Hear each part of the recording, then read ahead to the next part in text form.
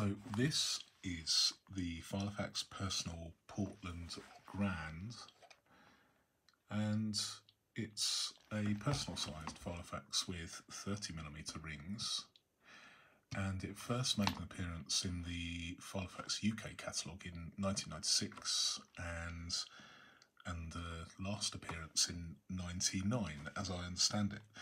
And it was only available in black uh, the standard personal sized Portland was available in a series of colours but this particular one the Grand was only available in black.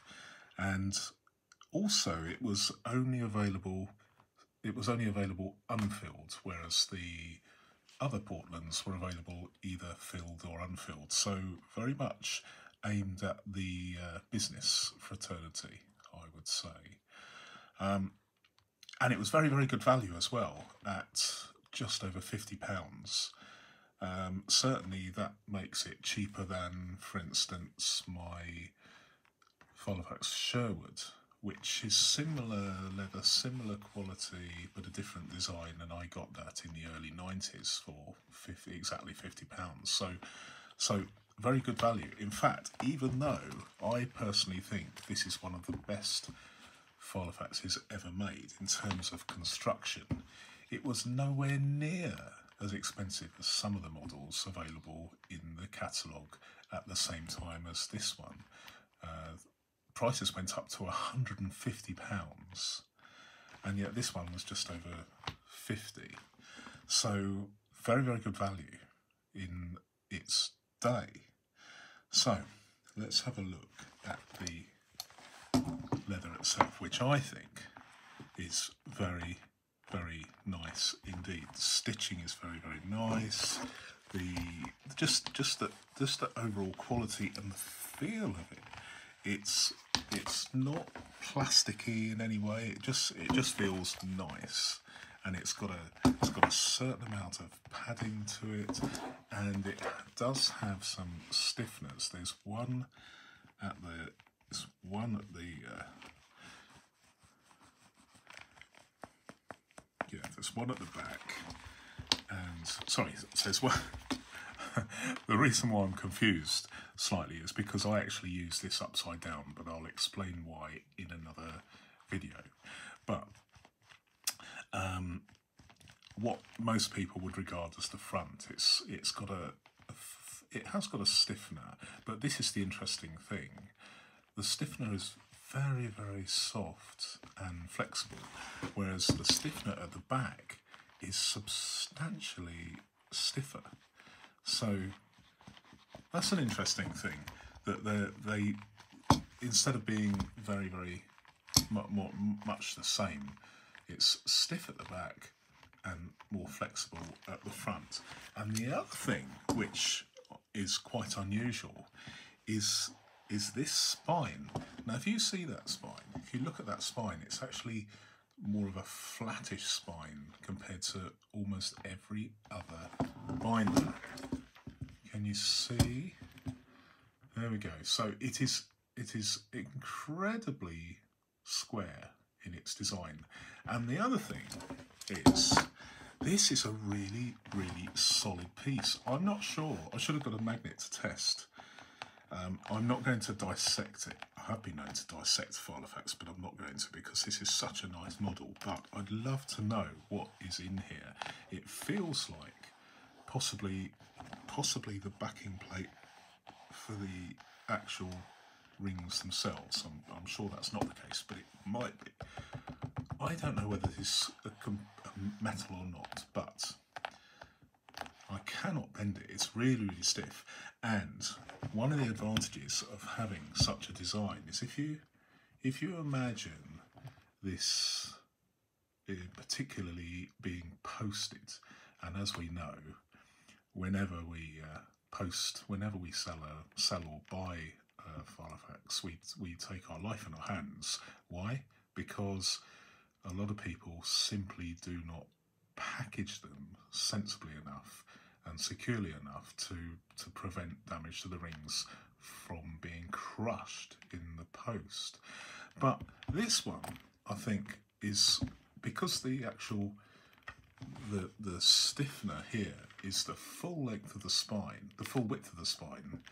It actually is slightly wider than the rings, and so it it it it really really helps. I'm imagining to prevent the the rings being crushed if they were in such position. So, an unusual construction. Um, the uh, um, oh, excuse me, I'm just going to blow my nose. I'm not having a I'm not having a great day today, hence I'm hiding behind the camera. excuse me. So I'm I'm I'm having a bit of an having a bit of an off day. So please forgive me. Um, let me just smell this. Now I've blown my nose. Okay, that is gorgeous. Now, I don't know about you, but I do like a binder that has a leather binder that has a leather smell. Um, I was disappointed a few months ago because I bought out of curiosity, I'm not going to say which model, but I bought a new model, brand new, ostensibly leather, but it had no leather smell at all. It was quite plasticky. However, this one smells of leather and it really it's got a powerful smell not the not the strongest i've ever come across but it is a nice it's a nice luxurious leather smell and the leather feels luxurious and there is a there is an interesting construction here i, th I think they definitely they definitely worked on this. They must have they must have tried to get a certain look because everywhere you look on this, there is no exposed leather at all. Uh, the, the, the, the underside of the leather, the flesh side of the leather, not just the pockets, which have these this nice classic Filofax logoed material, but also on the on the gusset I'm struggling here with the with the light, but there we go. Can you see on the gusset there? Even the gusset is lined, so the leather is folded over uh, to produce a hem, and, it, and then there's the the classic logo material as part of the gusset, and somewhat even more surprisingly, the inside the inside the pen loops. No, I'm not going to be able to I'm not going to be able to show you, but you'll have to trust me. Oh, you might be able to see there, rather than the exposed flesh side of the leather, even the inside of the pen loop is lined with the classic Filofax logoed material. So very, very unusual. Okay, so um, the inner has six credit card pockets. Okay, so there's stitching here. So there's they, these are six bifurcated pockets.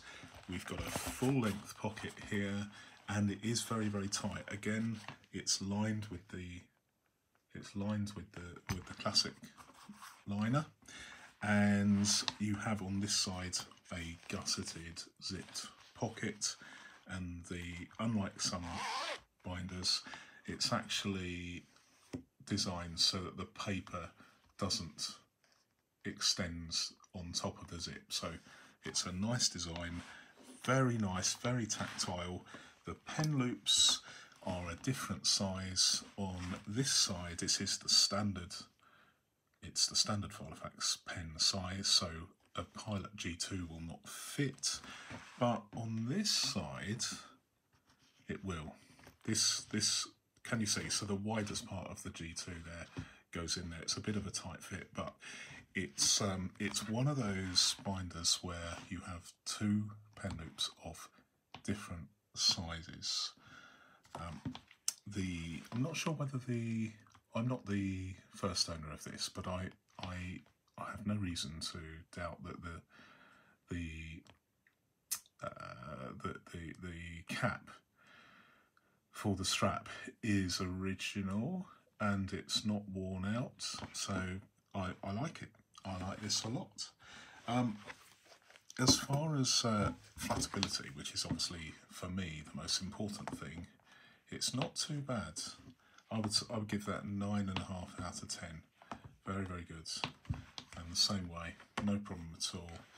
Um, I what do I use this for? Well, I use it for my database, and I like the 30 millimeter rings because I like to use the Filofax card index where each letter is a separate divider. So effectively 26 card dividers rather than typically the 13 where they use actually is it 13 or 12 it might even be 12 i'm not sure but if you are using a full complement of 26 card dividers then you need a little bit more real estate when it comes to ring size so for me that works perfectly and it gives me space for plenty of extra paper. So that is what I use it for. So I don't open it every day, but almost every day. And I think it's, although I'm a big fan, as everybody knows by now, of uh, the English made Filofaxes of yesteryear, this is one of the foreign made models that I really, really like. The code on here inside the strap is I don't know whether you can see that. Hopefully you can. It is E. Oh, I can't even see that actually. I'll put a note in the. I'm going to have to get my magnifying glass and I'll put a, a note in the description. I think it says E E E J. So for those of you who know these codes, I'm afraid I don't. Uh, you can perhaps let me know when and where this was made. Anyway, so as it stands, a very nice model and it has a very, very interesting construction. It just feels businesslike and solid.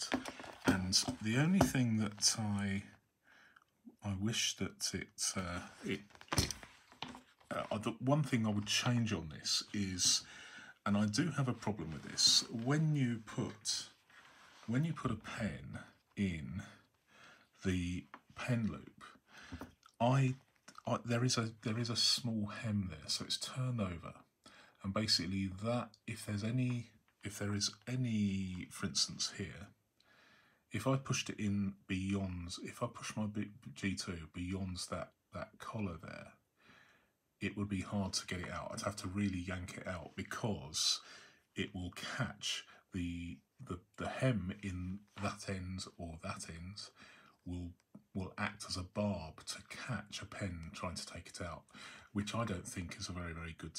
I mean, I can see why they've done it, um, but I I don't think that's a good idea. So I would have just ha had uh, just a piece of leather to to not be folded over, so that there would be no need to have a pen. I know that's not part of the design style of this, but I would prefer it if it didn't do that. Um, I am happy the fact that they are outboard pen so they they don't protrude inwards they protrude outwards which is very very nice. And the construction is superb. In fact on these because it's got a because it's got a, a, a double layer of leather so both inside and outside they've actually sandwiched between the two layers and it's very very neat very very strong. It's a nice it's a nice design. It's a nice way of attaching the pen loops on on both sides if you can see that. So yeah very very, nice. The only thing i don't like is as previously mentioned the fact that the there is a hem in at each end of the pen loop which will catch the unwary if you slide your pen in and and you you know you have to choose your pen wisely. But as we know with Filofax we have to do that anyway so it's no big it's no biggie but you just have to be careful of that. Okay, well, look, thanks very much indeed, and uh, look forward to you joining me next week for another Filofax review. Thanks very much. Bye bye.